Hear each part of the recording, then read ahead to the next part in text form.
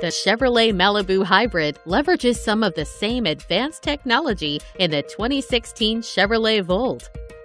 Malibu Hybrid will offer an estimated fuel economy exceeding 45 miles per gallon combined, higher than the combined mileage ratings of other hybrids, including the Ford Fusion, Toyota Camry, and Hyundai Sonata.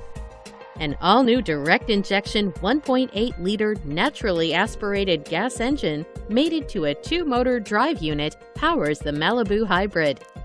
An 80 cell 1.5 kilowatt hour lithium ion battery pack provides electric power to the drive unit. This battery pack can power the Malibu Hybrid at up to 55 miles per hour on electricity alone. The gasoline powered engine will automatically come on at higher speeds and high loads, such as sudden acceleration, to provide additional power.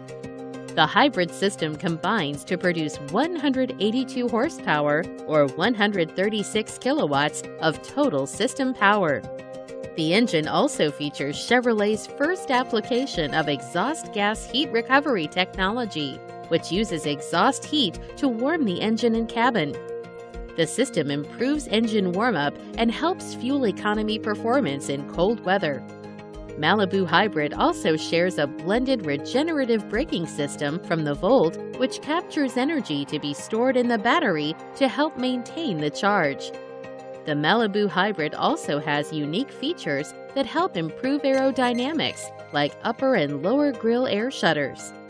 The Malibu Hybrid generates, conserves, and regains energy from advanced technology that offers fuel economy of over 45 miles per gallon combined. The two motor electric drive unit and 1.8 liter gas engine makes it the most efficient Malibu ever.